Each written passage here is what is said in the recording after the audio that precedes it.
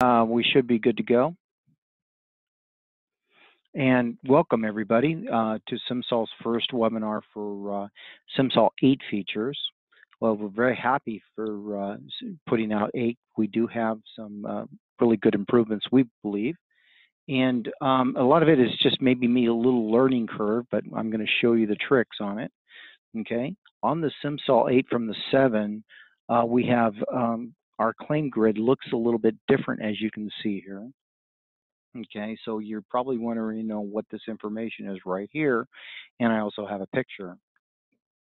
Now, um, remember that this will be blank, and you need to actually have on the photo, uh, your photos, excuse me, must be put into the claim file in order for that photo module to work off that particular claim. And it's very easy to do. Uh, I already have some preloaded photos that are already in this claim here. So this is a, an existing claim. So as I click on this, it brings up our uh, claim photo previewer, and then I can pick whatever photo that I want to actually represent my title for that house. So at, basically, I pick it, and there, and when I get out of it, it'll it'll change. There we go. That's a lovely cabinet. I think uh, we can fix that one up. Uh, but anyways, so it does have, if you take a look at this claim file here, we also added all the crucial information, which is the primary policyholder location, you know, probably mobile work and phone of, of your insureds. So that's that's pretty handy. So as you don't have to go into the claim, you can be right from the um, claims grid and then select it, and then it'll give you all the information that you have in your system. So I think that's pretty handy. Okay. Another thing is is that um, we have uh, the agency information and milestone dates. So we want to make sure that uh, you, you you do the milestones, and that's I try to stress that on every claim. So let me just go into a claim real quick. This happens to be an empty claim that I've set up and it's just been put in.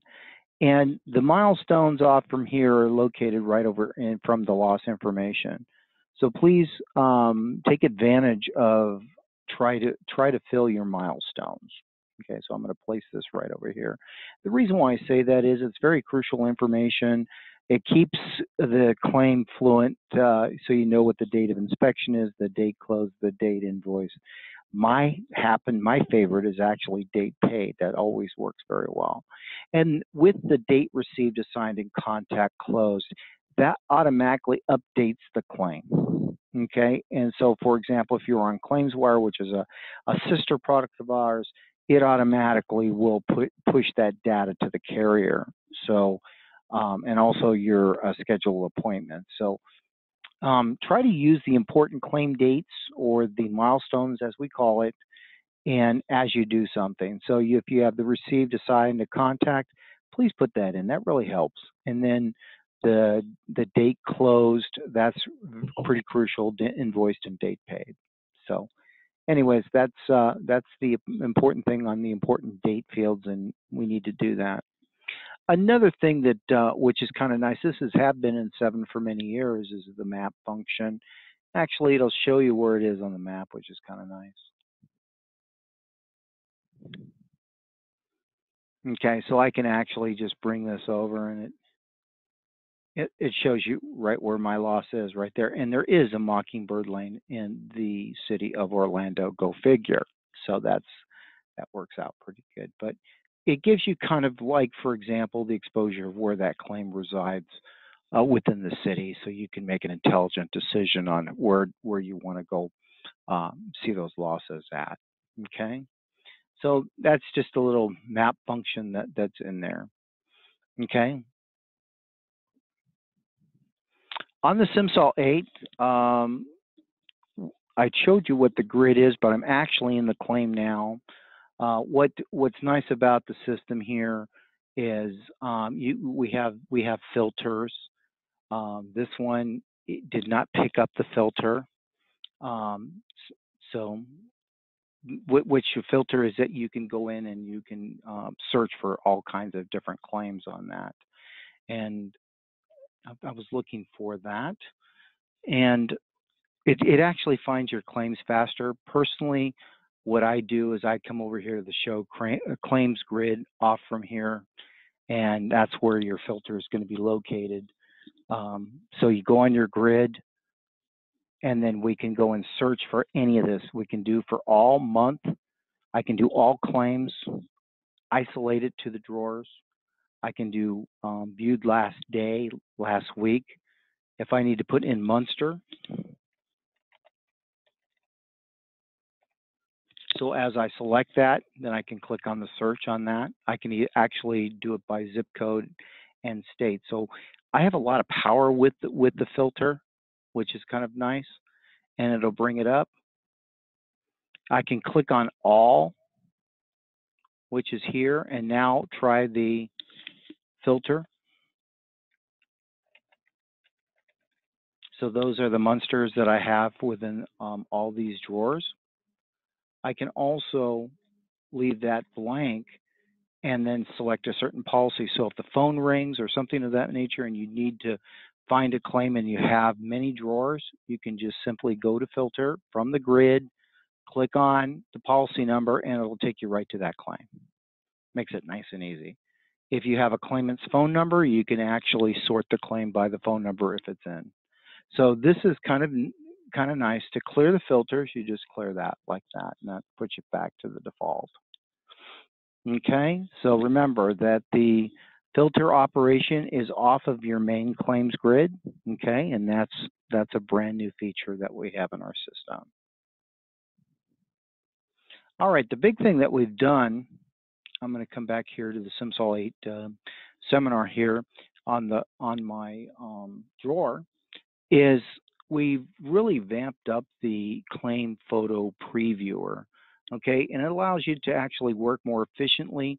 The screen provides claim information on the right-hand side on the claims grid. Uh, we have a lot of our users that says, well, I do it this way. Well, we went back and re-engineered it because we didn't think you wanted to do it that way, but we did go back and um, I'll show you the both ways that people are doing of, of adding their, their comment section. You can add it before it goes in to the actual claims uh, itself or after the claim. I always like to take everything in and then add it afterwards, but a lot of the adjusters like to do it before. Uh, one thing about the module is kind of neat, I'm going to get into the, the SimSol system,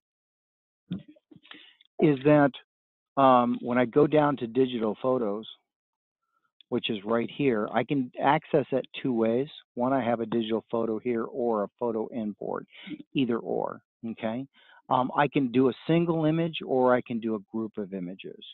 And mainly everybody clicks on the thumbnail import, okay? So I can click on the thumbnail import and then I can select uh, the image location.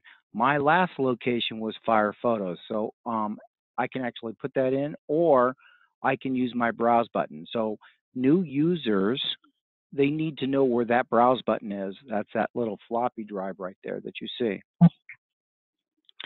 It's very important to take the date taken, okay? So when you take it or when you do the inspection date, please put in the date taken before you start doing anything that just guarantees you that you're not going to have an issue, okay? So I'm going to come up here and click on this, and I'm going to, I have some on my, my Dropbox, or excuse me, on my uh, desktop. As you can see that it remembers my um, last uh, file format. So I can come over here and, and then come back up to my desktop. I can then select it on whatever images that I want and then and then pick it.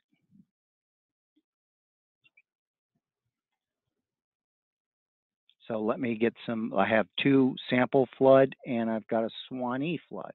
Let's, let's pick a sample flood here, or Swanee flood, excuse me. So as you can see, when I do that, it brings up our, our, our uh, thumbnails of this. So these are all the thumbnails. Now, what you can do, um, you, I can, I always click on OK and then and select them and bring them in. Uh, some some adjusters wanted were picking this this thumbnail and nothing's going to happen. All this does is to lock down that folder. So you need to click OK. Now I'm in the system. Now this this is like the Windows 7 version that you have. I can then come up and hit Show Pics. Please remember to put the date taken in.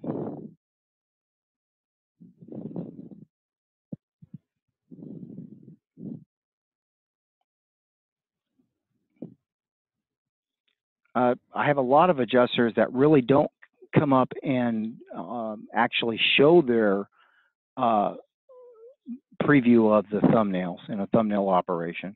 What they do is they just hit select all and then hit import because it's easier to um, delete than it is to add.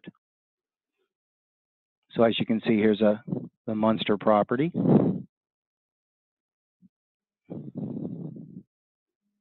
And once you start the thumbnail processing, you can't stop it. I mean, I can stop it with the stop button, but and then start over.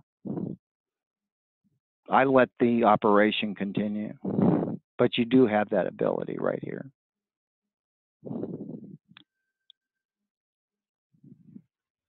All right, it's almost done.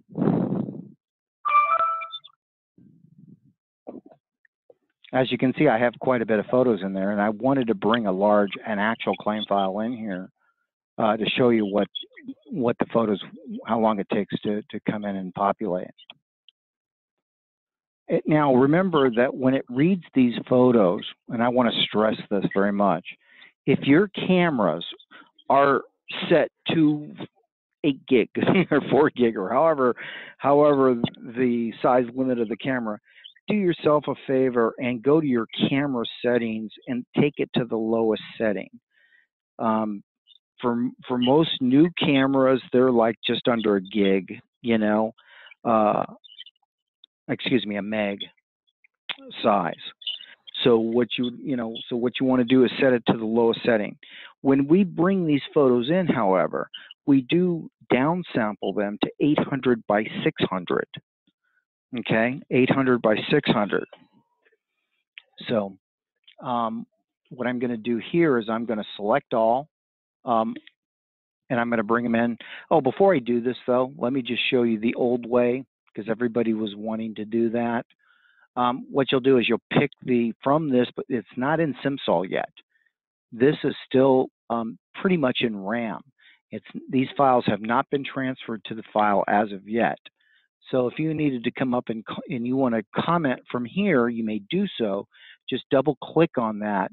And what I'm going to do is slide over the, the actual photo image information and then see the button that says check import. So it will place a checkbox in there and then you can then comment these images.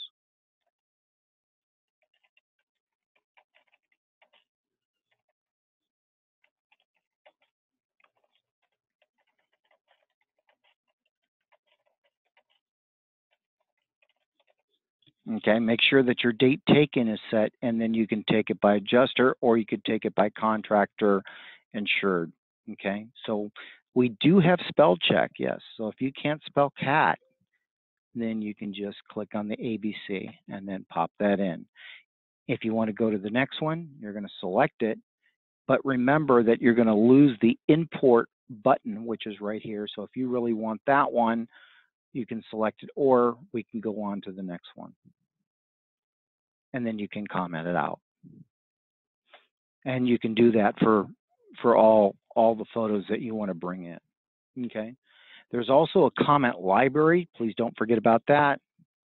And you can say that we're in the bathroom, the bedroom, and then select it. I'm going to click OK.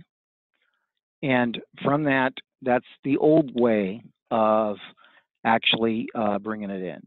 You can also, also hit select all and click on import, which will take all my images. Now the processing of the thumbnails was downsampling these photos to an 800 by 600, but it's also creating the thumbnails. If you take a look why this is doing this, as you can see, the area photos uh, section in the right-hand side, it has all the rooms that you have defined. Now, I haven't talked about that. So when in the new system, I recommend that you would go to scope of damage and create your areas first and then import the areas. And that's going to give you an advantage because it will automatically place, you know, when you drag these over, it will print with the associated areas. So that's that works out fairly well. So here's my basement, here's my living room. It's still processing the, the photos. It is working in the background here.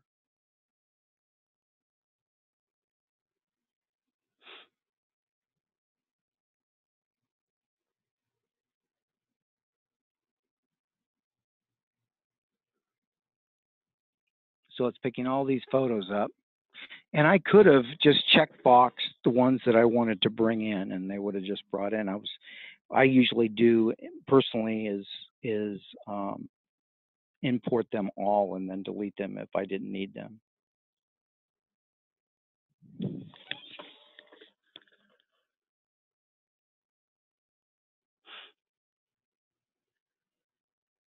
Now this um, it says processing thumbnails this has to read a lot of uh, photos. So we have found, we did time studies on this.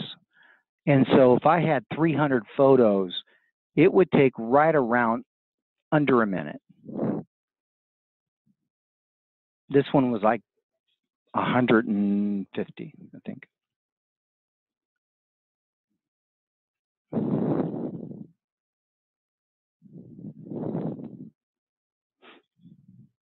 I'm just waiting for these uh, these photos processing thumbnails to finish up.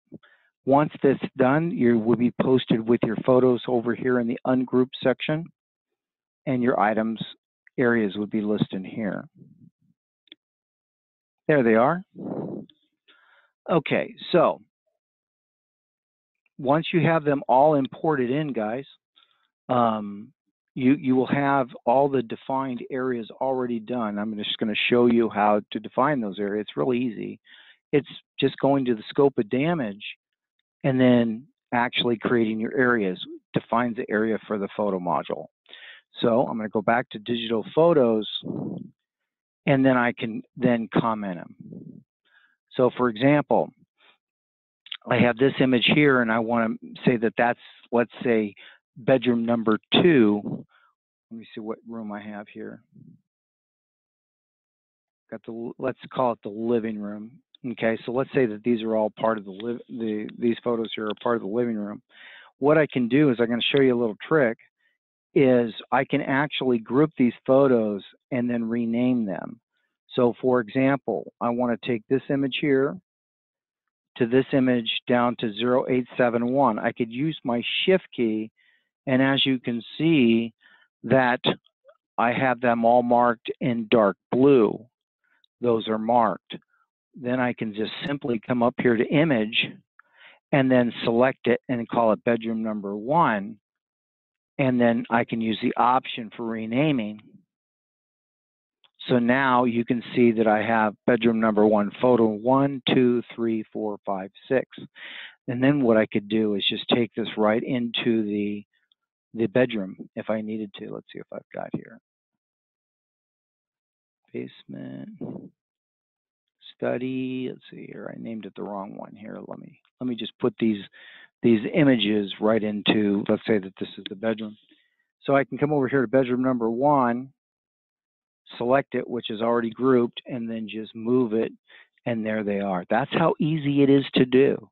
Now, if we print it, we can say, oh, we want this at uh, the bottom or the top or in the middle, and all those photos that are grouped with any comments. Um, once, usually, um, what the some of the adjusters are doing now is they're just grouping these. They're not really doing the commenting until it gets into the actual area that they want.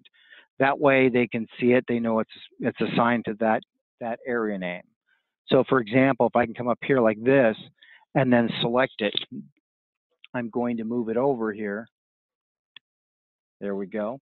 And then I can say, okay, here's bedroom number one, and then I can just see it's already named that. I can just come over here and just put the comment in. Okay, and I can also change and annotate it. Okay, so in my digital imager, I have, it's this is a little bit different from the seven. Okay, we have the image information, which is what you're used to. It also, if you really want to show it, is show the EXIF. What is that? That's what the camera actually takes and, and we capture that data. So we know what the resolution is, and mine is 72 by 72 inches. So I can turn that off. That's turned off by default, but you do have that ability. The next thing is the annotation. We kind of clean that up a little bit because it um, well, it's more grouped in. So if I click on the annotation tab, it gives me my tools for the annotation. So for example, I want to draw arrow. Let's say that that's my water line. Okay, and then from that, I can actually add a comment.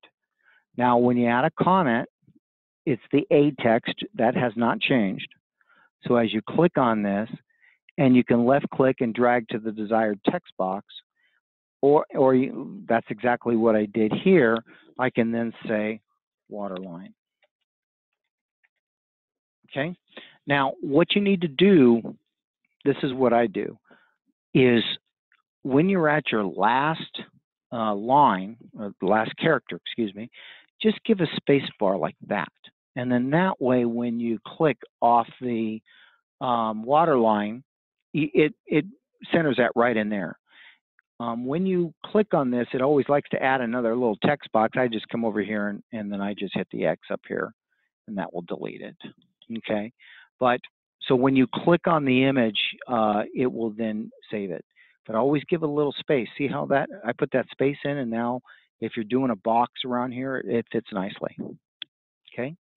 Uh, you can always um, suppress it, uh, bring it, suppress it to the back or the front if you had layering. So that does give you this opportunity right here. I can also edit the font, but I have to mark it. Remember, it's the same thing as a diagram. You have to use the arrow, place it on the canvas, and look, see your handles here? When I have the handles, I can actually move this and make it bigger or smaller. Okay? So once you get out of that, so my I have that in there. Um, I can also change the pin width, the pin style, and make it clear. So if I wanted to fill it in with with uh, white, I could do so. I like it clear because it gives a good transparency on that. I can also use a box and then highlight something like that. Let's say my mirror is, if you're trying to say something you need to circle. Um, if you need to draw, you can. Um, I'm going to use my X, whatever's marked. Okay, and I use the blue arrow to mark this. So if you make a mistake, you can then mark it and then hit the red X, and that will get it off for you. That's what it's for. Okay, I can also do a circle I can do other different types of shapes. Okay, so that's available for you to use. Okay, um, when we come up to rotate, we do have that ability, so I can actually rotate the the um, photo at you know 90 degree integrals. Okay, do not use the rotate one. Uh, they will be deleted. I, I never do use that one, but use the rotate 90, rotate uh, left, and rotate 90 right. So that works real well. You have the ability to put a new image in by just selecting open image. And if you need to export it for whatever reason, you could click on the export and then save it. So you can see there's a save button off from there. Okay, so um, remember that does tell you that the images have now been downsized 800 by 600. So we can go to the next one and then and add that. But if we renamed it, like like we did before it came in, uh, then for example, then it would show up here and then you can go right to your image comment. So that's why I like to re use a group re group rename function and it saves a lot of time. So as I put this in, as you can see, I can then comment on it. When I'm done, I can then come up and select done. Okay, so you can you can group it in here as well. If you need to add the annotations, or if, like you see right here, I need to, excuse me, I'm moving it over. I need to um, actually rotate this. And that's how easy it is. Put your name in, or digital image name, and then put your comment. So that's um, that's how the new uh, photo module works. I'm just going to come up here and grab some other images, and then I can place them in to whatever room that I want. So as you can see, here's maybe the kitchen, bathroom. Here we go. Here's some kitchen photos. So basically, I'm using now, uh, I can use the shift key, which I demonstrated earlier. But what I could do here is I can use the control key and holding it down and then selecting the photos that I want. Once I have them in there, I just move them over to the kitchen and then let go. That's how easy it is. So you can place them all in your uh, estimate areas. And so we can see the thumbnails either from a building estimate, an APS, or contents. So uh, we can assign we can assign these area names, which ones you want to see from building APS or personal property. So that's available for you to use. So the next thing is printing them. So if you'd like to print them, you can take your mouse and click print, global print screen. And remember when you grab these, here are your photo images right here. I can just left click and I can then move them over to the selected printed items. Nothing has changed there. So now it's bringing all the images over associated to the areas. So take a look over to the images available. These are the unassigned, means those are the ungroup images, and you can grab those if you need be. But I'm going to scroll down because I want to show you that I've got other areas, which is basement. And, and if I need to grab all my basement files, check this out. This is really cool. Take your basement and move it over. All the images that are associated to that room will come right over. Okay? Take the kitchen, place them over there. Moves them all over for you. And then if you need the study or the exterior, you may do so. Okay? So you can grab these as a group and move them over to the ordered printed images. Now, another thing that really was, um, that took a lot of time is that if you had to take um, a group of images and you can only move them one by one uh, up the chain here. But let me show you a little trick here. So if I can come down here to the images, got my images here. I'm looking for the group name.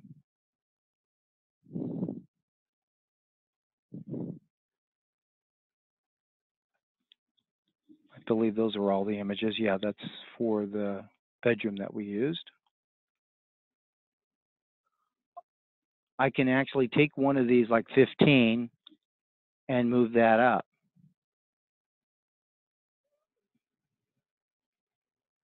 Take one of the images 0895 and move them up. Okay, so I have I have that ability. Okay. I also have print two images per page, but if you need four, eight, or 16, that's available. If you need to insert number of blank photos, that is available as well. Okay, so when you grab them, you can just take that group and then move them. see if I can move this one up. There's a little trick if I uh, can move that one up here. No, it's not going to let me do it. You have to do it from the ordered print images, okay? All right, so once we do that, we're going to take a look at that and click on done. I can either print, I can, excuse me, I can either go to print and then do a print preview or go to the printer. If you had a claims wire, if this was a claims wire file, it would show up there. So here we have our um, photos that came in, our annotations. And what's nice, what's nice about it is, is that you can arrange your uh, group, which is the kitchen, the bathroom, the living room, whatever, you can actually move these out if you already have them selected. You can move them over to the images available and then add and reinsert them in the order that you want to print. So, and that saves a lot of time because if you had to move everything all individually, you know, and you had 100 photos, that would take a little bit of time to do. Here, you match them up to the areas and then you just move the areas to the appropriate positions that you want it to print. Okay, I'm going to click on the done here. Okay, and that's pretty much it for our um, new digital image photos. I'm going to unmute you all here and see if you have any questions. Okay, any questions I can answer for you on the digital photo images? I have one. I have Go ahead. one. Go ahead. Okay, Dan, on the area photos, that automatically gives it a name when you type in the group area in the building estimate, correct? When you go to the scope of damage, you select area, you name it, then it creates it automatically when it when you go to digital photos. Yes. Okay, uh, if you create a, um, in the scope of damage an area, say, I, I write a debris pile, and, and I want that because I want to be able to drop all, uh, a load of piles into the debris pile. Then if I delete that from the building scope of damages, will that delete it from the picture area, the name? We don't want to do that. Um, you don't want to delete that from the deleted area. Maybe give it to, for example, miscellaneous or debris uh, photos. Keep that Okay, intact. Don't delete it, especially if you it. already have it tagged over. I believe they'll go back to the ungroup area, but I wouldn't. I don't like to chance it. Okay, got it. Okay, have- and I have a another question. here's another question for you, my, guys. Let's see if this works for you. Is when you do your prelims, you go, well, I don't have my areas already defined. What do I do? A, a lot of adjusters, what they're doing is they're creating a area within the scope of damage called prelim, and they'll just grab the appropriate photos for the prelim, and then that way, when they push it up, then um, it'll have, you know, for example, pre associated group photos, Okay, and that works out real well. Okay, Danny Maloney, listen, um, I, I wasn't on audio when you first started. I, I just have a question. When you go to thumbnail import, you select all from the drive. Let's say you got a chip, you stick it in your, your computer. You Mhm. can import all the photos into the digital photos, and then you can sit there and highlight as per what you said before, and drag them into certain rooms. Is that correct? That's correct. Now, what I would do before that is take, if you had multiple claims that you went out on the same chip, kind of try to divide those up into different folders with the name of the claim. And then that way you'll you'll reference that claim with all the associated photos, and then they'll place them in the ungroup photos, and then you'll just grab them to the areas. All right. So, in other words, you're saying if I go if I go to three different claims in one day, I need to just grab what is associated with, with each claim. That's what I would do. Okay. But if you want to bring it all in onto a claim and then just check box when you look at the photos or the thumbnails, you- just said, okay, well, I see the address starting on the second claim. I want, this is the second claim I need to bring in. You can see the address uh, that you took, you know, to start the claim off for the Right, second loss. Right, right. and then just pick those and then and then what you'll do is then assign it to all the various different areas it's still an ungrouped you have the opportunity to delete all those other photos in the ungroup and or keep them there and not even and and not even uh, use them i don't recommend that uh, way because you don't want those photos getting mixed up uh, Right. within within the I same would never do it that way, a million years. But you know you can do it that way if you want to uh, i have some i have one adjuster that does that very thing this is why i don't want to make folders i only have two or three claims that i have for flash drive Well, let me let, let, let, let, let me ask you another question, if I may, please. Okay, so I'm in Cocoa Beach last week. I go to three different claims from Matthew. I photograph this, this, this, this, and this. Okay, so instead of going in and grabbing each photograph off of the chip, do I just Photograph. highlight? I, I just highlight everything that I want to bring into that particular claim. Is that correct? You well from this from from the ungroup or before it even gets into the ungroup you can read from the the common data source which is going to be the flash drive and then you can then pull the images and you'll see the the thumbnails and then you'll just use your shift key you know to grab in the series because you're going to take the pictures all in series Of course. for that for that loss and then maybe start it right at the address and then the and just one photo before the next address Okay. and that'll Okay. bring them in that way Okay. Excellent. so Thank if you, don't want to if you don't want to bring the folder up that's the way to do it Okay. Ben, yes Don.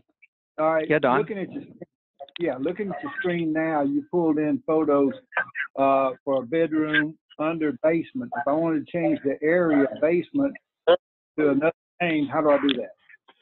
you just go right up to your scope of damage and i come up to basement and i go to edit Okay. and then i'll come over here and i'll just call what was that bedroom Yeah, got it. That's it. Okay. Thanks.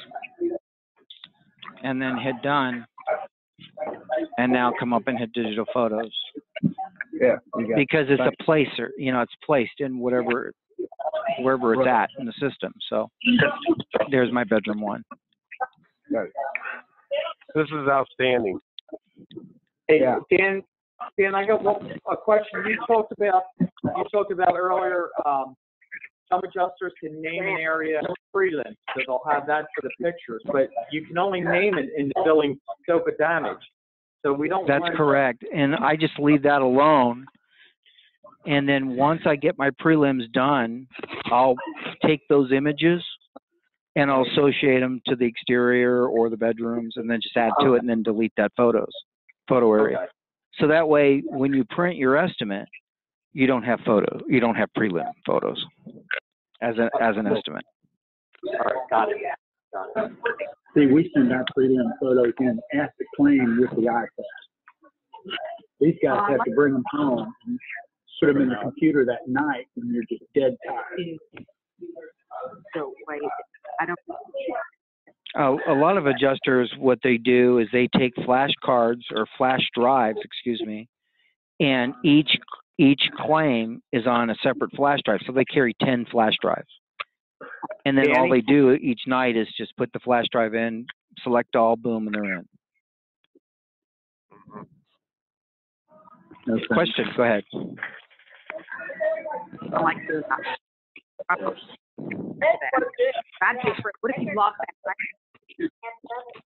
guys, I really believe this is going to save you a lot of time because when you're trying to order these photos in a certain order, because they said, oh, we want the bedroom to be at the top because that's where your estimate starts off, then you would have to manually, you know, take that every single photo. It was really time, you know, it takes a lot of time to do it.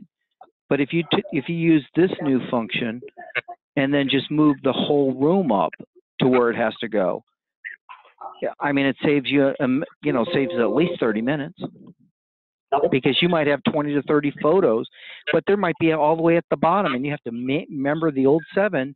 You had to pick that one and manually push that up to the top, and then take the next one, the next one, the next one, if that was the room. Oh, Open, but then I, there's, mm. oh, they're fine. That's what I've been doing all morning. They know I- about It's it. already been a week. Still not sure about it. Need to watch this a I'm couple of times. Well. Another question? Another question? Yeah, have enough time. Yeah, I have one. Yes. If you if you're not doing if you're not if you're labeling each photo and you had like 50 photos, but you're not putting them into the area photos by you know by room, and then you get ready to print them under the under the most recent uh, SimSol edition. I could when I got ready to print, let's say I had 50 photos, I could print like photo one, three, five, seven, nine, and then go back and it would automatically move that photo from the left column over to the right column. And then when I know how many I had left, and I could put them in whatever order I want.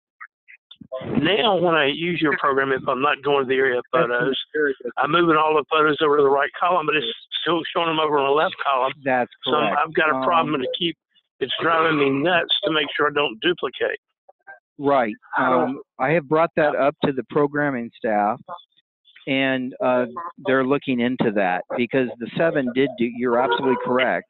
The seven did eliminate it from the left, but from what I understood, and I could be mis uh, misspeaking here, is that when you uh, the reason why it's there over on the right side and doesn't delete itself is because you still have items that you could take those and put them associated and drag and drop into the area photos region. So that's why we had we we could have caused uh, some damage uh, to the file if we didn't if if we eliminated those from the ungroup function. So Well, the problem uh, is the problem is you've got a if you got a large loss or you have a complicated loss. I was on a loss yesterday where I took over hundred photographs. There were five five different buildings. There was no damage to four of them, and I didn't necessarily take the photographs in the same order that I wanted to present them in terms of what I'm shooting out into my report. So I really had to literally manually do this and I had to move them up, and I didn't do it by room. I'm glad to know that. That's going to save me some time. But I, I, there was no way to manually, other than to manually put those 100 photographs in order, and then just click one through. okay, so 100. now let me let me give you a trick. Would you like to see it? Sure. Okay. All right. Let's take these images here. I'm going to take images 85 to 93, and then I'm going to take image 910, right? Okay. And that's that's the one you want. So I'm going to use my shift key.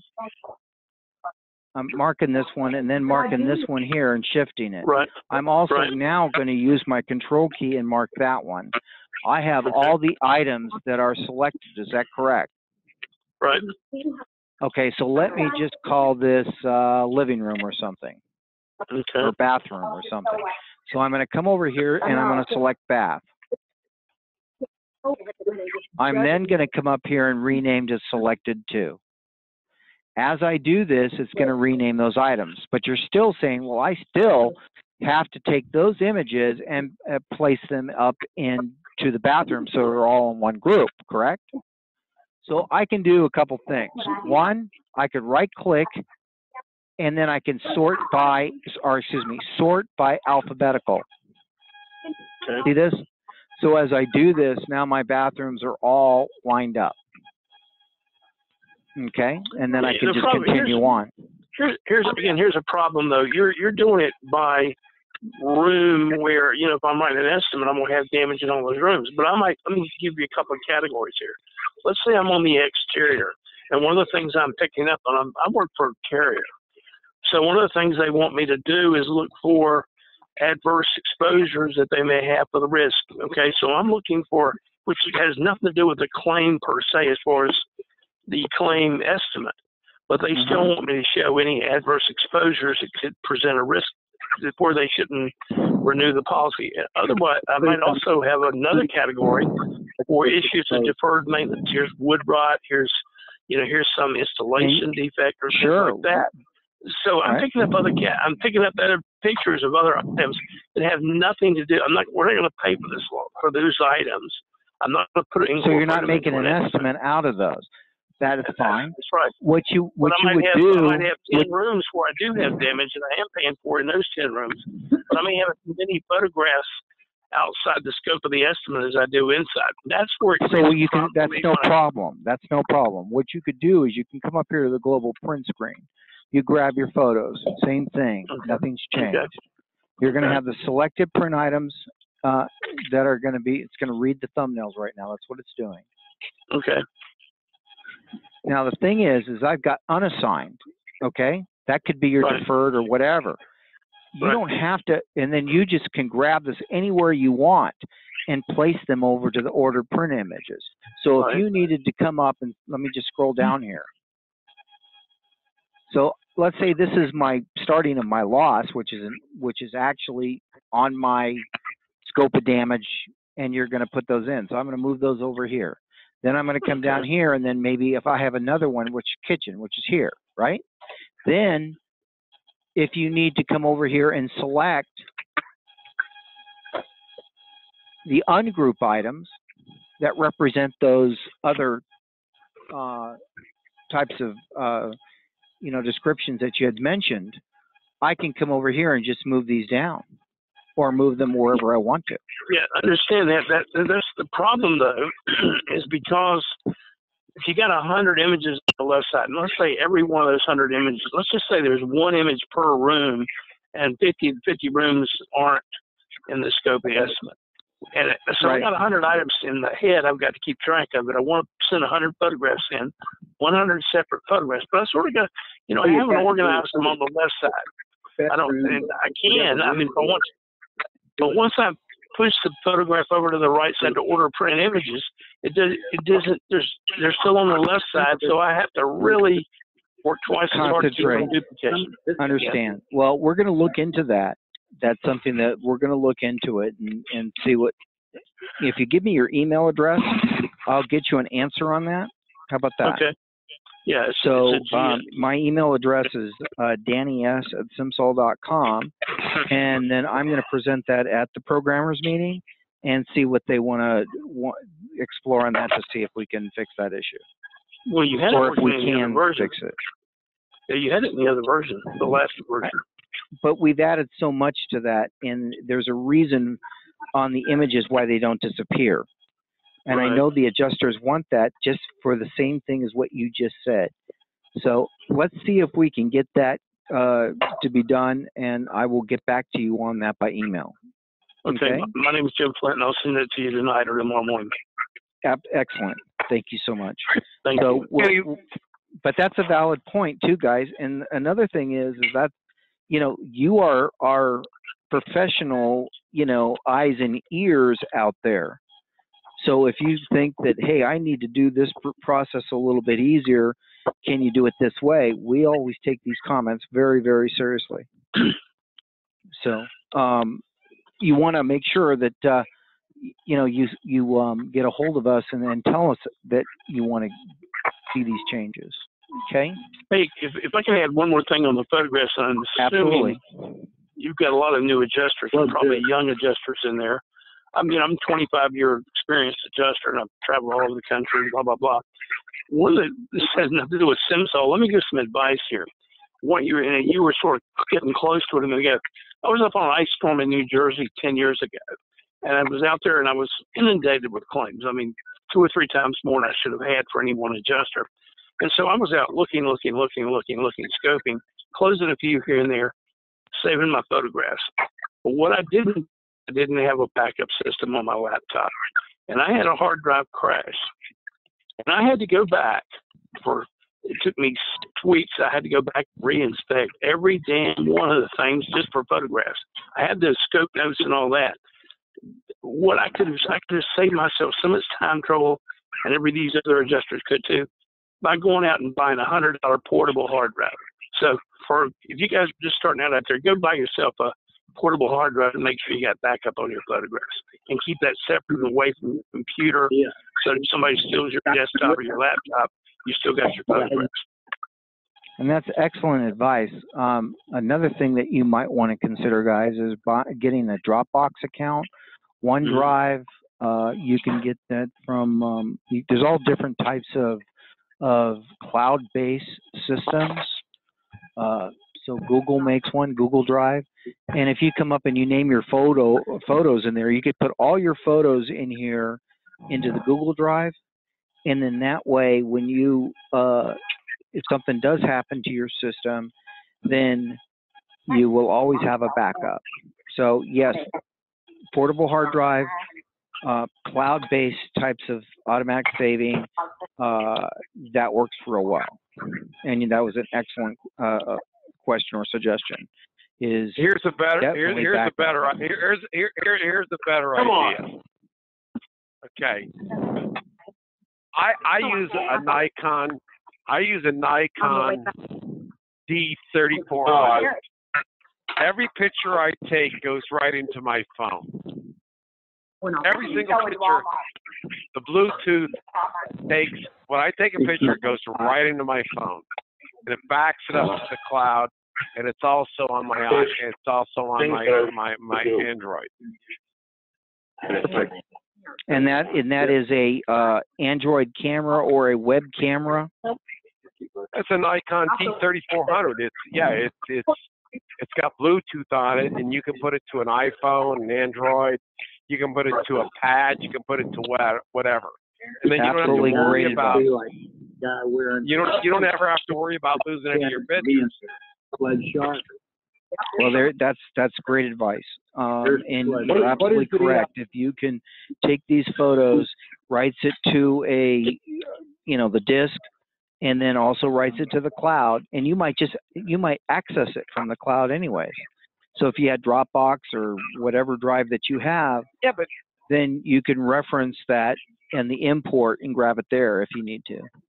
yeah, but, but What the is the thing Icon is, with with with with with, with the camera, I don't care if it's Canon or uh, Nikon or this or that or Canon whatever. If you get the one, you know, it it it drops it right into your phone or to a pad. If you're walking around with a pad, it, it you know you you don't have to worry about losing anything. Right. That's absolutely correct, but it's using some type of transfer device of- as Bluetooth to, to do that operation. And that's, that's a, that's great advice. So if anybody, So the, Nikon- you know, the Nikon comes with that software where it's Holy fuck! Tell guys to go fuck themselves because they're custom. Hey guys, I just want to be respectful to Danny's time. We got about five minutes for questions. If not, if we don't get it in on this call, you can always email Danny S at simsol.com with all questions from this webinar. Just a heads up, five more minutes. okay, okay. okay, I do want to show you one other thing that it's not flood related. If we have wind adjusters out here, you might want to see what we did here. So, so basically, I'm just going to click on done for just a second, and I'm talking about uh, the Eagle View and also Sky Measure report like that you can order, and we automatically uh, can set those up. Well, not automatically, but you would follow this procedure to click on roof once you get your uh, Sky Measure report or Eagle View report. If you come up here and go to third party on your roofs, Eagle View or Sky Measure, I'm going to click on Sky Measure. I'm going to click OK, and now it's asking me where that location is. So I have this Sky Measure uh, folder. Once I double click on that, look, all my all my shapes are in there. I've got photos that automatically came in. The only thing I need to do is come up and select what type of uh, roof type I want and what how much waste factor I want. Then if I click on scope, and, and I know we have some wind adjusters on the line.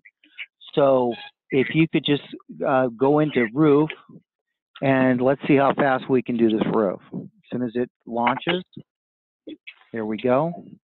And then all I need to do is run a macro. And then I'm going to, I'm going to bring the little window over here. There we go. Let's say it's an arc comp roof with felt. Click on done. And now it's asking me for the drip edge. And now if you take a look, that's how fast I did my roof. Whoa. And that's, and that is the proper quantities. It's Does that bring your di- 81.4. does does that bring, does that bring your diagram over too? on the uh, scope of da- on the um, on the report itself, it does not. You'll have to add that. There is a report that gives you the diagram, or Right. actually, it's embedded in the report. So So you can use add- the, you can like, add I use the report sky measure, I use the sky measure diagram rather than, it didn't pull, but it Right. didn't make a diagram in exact, in That is correct. It does not. Okay, gotcha. Okay, but you can just attach that document, Right, right. and then that will be your report, and then you've got your diagram already within your report, and you're good to go. Can you show me how to do the attachment there? Sure. In that Come up here, can attachment, click on new attachment. Uh, I can pick anything, PDF or anything, but I can come over Right. here and then click attach document. If I go to the desktop here and I select, uh, the Eagle View sample, let's see if I've got the, I'm looking for my zip folder, excuse me. I got lots of stuff in here. But I'm gonna, there's my zip folder right there. So if I double click on this, uh, on the zip, that's the wrong one. I want to open my zip up. I can't unattach with a zip folder. I just can't do it. Want me to grab some? Okay? I need to open up the zip. And then from the zip folder, there is a PDF document. Right, right, okay. And then you would just grab that because we did that for another company uh, that is no longer in business and it worked out real well. We can grab the, we can grab the report. So let me get that report and unzip it real quick. Hold on just a second. Yeah, no.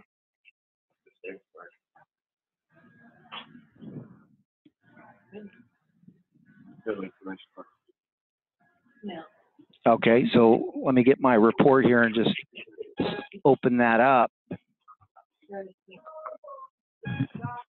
Don't know what to mean. Say what?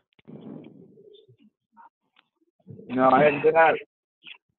Okay, uh, in this, uh, Excel spreadsheet, they didn't give me the actual report. They gave me all the pictures, they gave me the XML and the CSV, but they didn't provide me the PDF. Okay. So I'm sorry, but what you would do is when they do order it for you, they'll give you two files. They're gonna give you a zip folder and then they're gonna give you the actual report. Okay, and the report, you just go to new attachment, go to, um, attached document, find the location and then bring it in. Let's see if I have something here on pictometry. Oh, yes. How about this? I do have a report for an- a pictometry report, which here is the PDF. And now it's going to uh, bring that in, so let me bring that over for you so you can take a look at it. There you go. There's your report. Ooh, wow. So as you see this, it, it'll Danny, bring it do, right that, up do for you. that again, please. Do that again, please. Okay, what I'm gonna do is I'm gonna bring this over so you can all see. Okay, so what I'm doing here is I'm looking for the actual report. Uh, let's see if I go to desktop here and I've got uh, pictometry, okay? Okay. And pictometry, this is an uncompressed folder. It's, so it's been unzipped already. Um, I believe, uh, I believe that the uh, Eagle View is going to give you two different files, one zip and one uh, PDF. So I'm just going to come up here, pick up the PDF, which is right here. So as I bring it in, there it is. Boom. Okay. It's real easy to attach it. You can attach anything in SimSol. So there is our report. Wow. Isn't that great? Nice, very nice. Now check this out. This is what I like. 3D. All our slopes are matched over here. So you have nine pitches. You've got, and that gives you the total. Tells you what 60% of the, what the roof is. Your oh. total roofing, remember I told you it's 82 squares? It's 822958 square foot. And then you can look at each slope and it'll tell you what the, the size of that slope is in square footage. I want to learn how to do that. Is that Where's not awesome? Where's your pitch though? What is it, eight twelve, six twelve? What is it?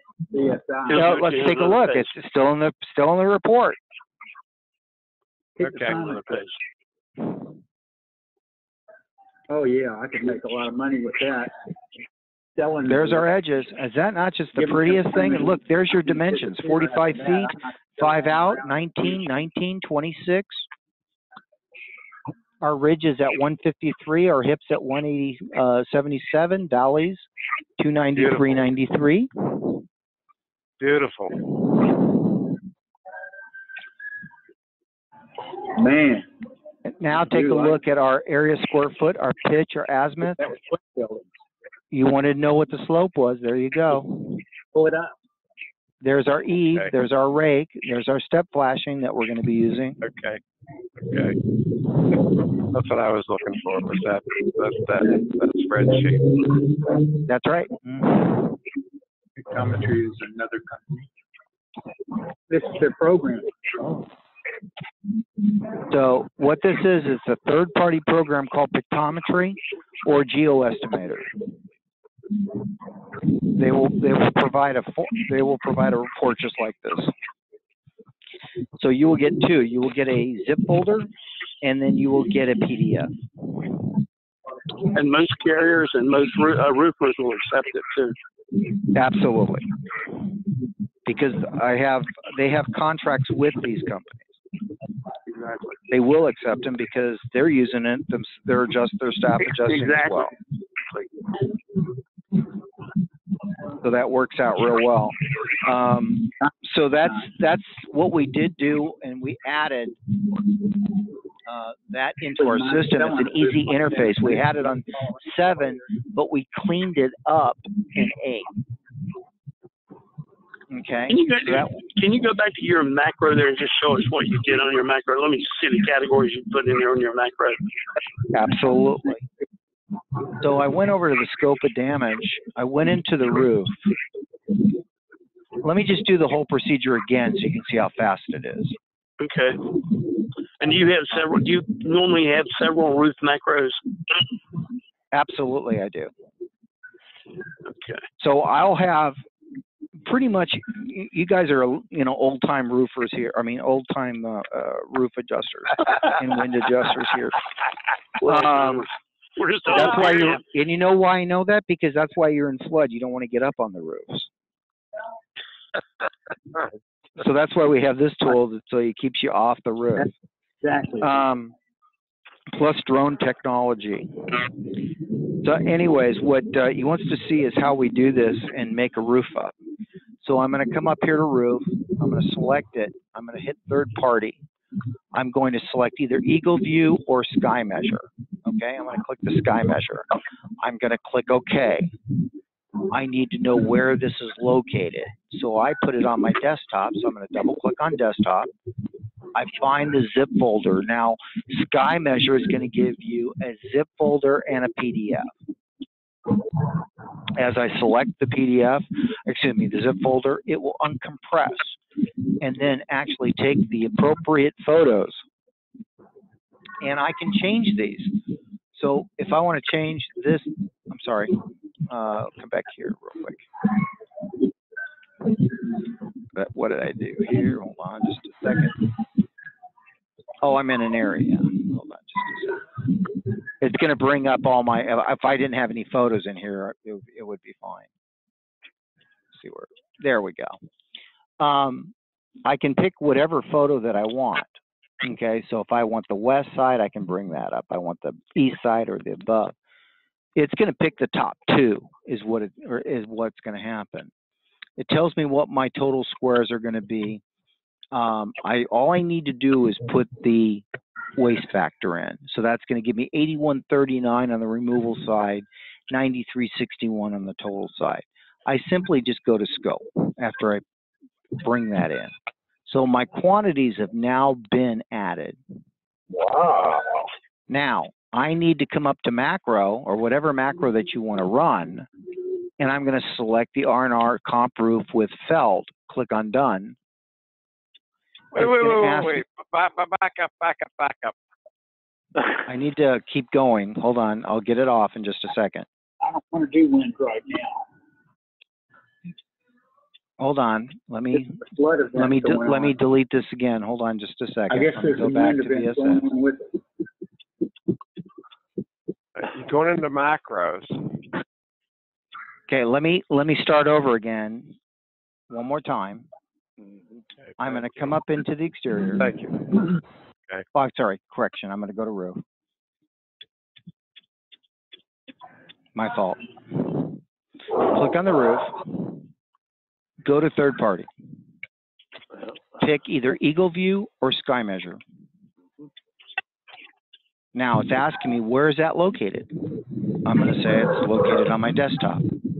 And I'm double left clicking on this, which then uncompresses and measures, puts my square amounts in there. Don't forget to put the waste in. Now I'm ready to go to scope.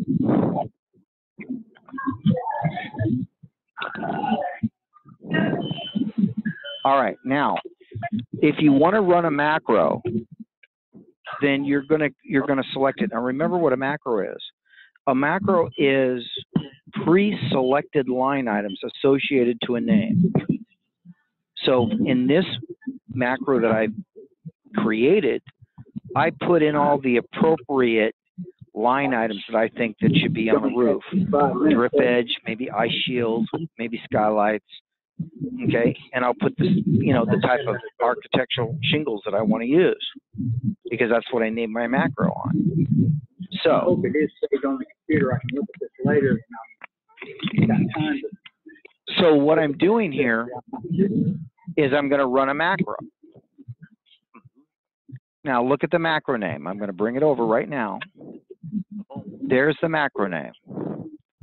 Okay, this I defined this before I ran this because I needed a ma- I made a macro up for this demonstration. So I left click on it and click done. Now what's going to happen is it's going to stop when it needs a quantity from you. In this case, it needs the linear foot of galvanized drip edge. So I'm going to put it in. I'm just going to make something up here. And I'm going to click done. It goes to the next line item. So now, if you take a look, I've got removed T-lock interlock composition shingles. I've got the replacement. I've got the felt. Remember that I'm only doing the replacement of felt, not the removal of felt, because uh, they consider it an overage. And then I've got replaced turtle box, turtle vents. And if I had that, and I can say, oh, we have 10 vents. And then I've got the remove and replace galvanized drip edge. So you can define numerous, you can go back to VSS and add more line items if I need to for that roof. Well, that was going to be my question, like things like boots or or chimney flashes, things like that. Yep. You almost even with a macro, you're pretty much going to still have to go back to that scope in that particular area, like for roof, and add a few of those singular items that Absolutely. And then once you do they that, won't, they let's, won't let's You go won't up have and see boots. I don't think it's gonna call boots, but, uh, Roof, uh, not it's a boot jack, a roof jack. it's a roof jack. Yeah, yeah. I wish y'all had done a better job with the naming. It used to be boot, but now it's you got to really look for it these days. Right, it's roof jack is what it is. And if you come over Yeah. here with composition shingles hmm and you select it, and I'm gonna do a one and three, which is right here, and I'm gonna say, oh, I need five of them. Now, look at this right now, guys. I added this. I added the turtle vents, I added the roof jacks. So if I wanna make, I wanna modify my macro, I just mark them all and go macro, record. So instead of giving it a new name, hold on a second. I did the wrong one. Uh, macro record. And uh, instead of giving it a new name, I could use the existing name. But That's how I modify macro. If you use that macro on your next claim, you got a 14, 14 square simple gable. Yep. Use that macro, it's going to bring over five roof jacks.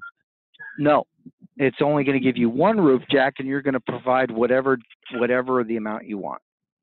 You're kidding. It doesn't. It doesn't bring that quantity over. It doesn't bring the quantity of the roof jack off the macro. Remember that okay. it could be it could be anything that you put in. But it's but it automatically brings one over there where there might not be any boots up. That's correct. And then all you need to do is make sure that there's no roof jacks. You right click, hit delete, move on. You know what I mean? Right. You're not gonna do that. But I do want I to mean, know that.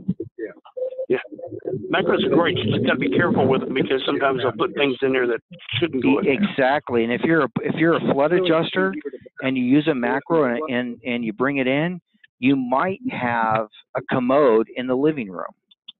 Right. So I don't Right. know if you have that or not in your living room, but you might. But yeah, you have to be careful on macros. You want to identify what the line items are, pop them in, and address them as needed. Like I said, it's easier to add than it is to delete. I mean, excuse me, easier to delete than it is to add. Go for it. Hit the button and it calculates every Okay, item that's- that's in that That's pretty much what the, what, and I have two other, uh, one more section that I'd like to get to real quick, just to show you what we've done. On forms. Get claims back. So If you click on our forms, uh, what we, what we've added, is anybody work for USAA here? I have in the Anybody past. work- I don't now. Anybody work for USAA? Okay, if you did, take a look, we have a new EFT file, an EFT form, which is called USAA EFT. That's required on all, uh, USAA claims now. Really, So you put the date in and you get a signature. And then you say, I authorize my payment. This, the insured will have to sign this. This is for payment, how they're gonna just do electronic payments to you, to the insured, excuse me. That's one thing. Another thing that I'm going to leave you with is gonna be a new form that is going to be called, I'm gonna bring it down here, signed handbook. Watch this. So if I come up and bring the form called sign handbook, bring it up, it'll put your signature up and all the insured has to do is sign. CNC. We've already got it. Which is fine, I don't give a shit. But that's Okay, so exactly that's what that one. have to do. Now, what you guys have not seen, which is brand new, just came out two days ago or three days ago, is the new advance payment request. Now look at this puppy. This is what FEMA wants now. So that has all the verbiage that they've always wanted on an advance payment form. So the only thing you all need to do is just run the advance payment. Let's say I'm making five thousand dollars for the building, just like you did before. Put one thousand wonder- for the contents, See if we've gotten any discount. and then there you go. But it gives all the terminology that and that they wanted in the in the advance payment. So that's a brand new form, hot off the presses. Okay, so I want to thank you very much for your time, and I hope this was beneficial for you. And uh, you can email Mathis. Mathis, can you give your email address, please? It's Mathis M at simsol.com, M A T H I S M at simsol.com, or Danny S at simsol.com. Okay, so if you have any uh, things you would like to see in the program or Danny? Or what you want to do is uh, you know talk about that photo module that it didn't delete the other areas in the ungroup as you push them over to the right hand side for Im- images to print. the other guy was the one that. Write that down, and we we're going to do some research on that one. presentation on Okay. flood. So So guys, I hope this was beneficial. Um, we'd really like to have a survey. If you could just give us a quick note on how uh, that you found the seminar was uh, helpful or not helpful. Yep, no problem.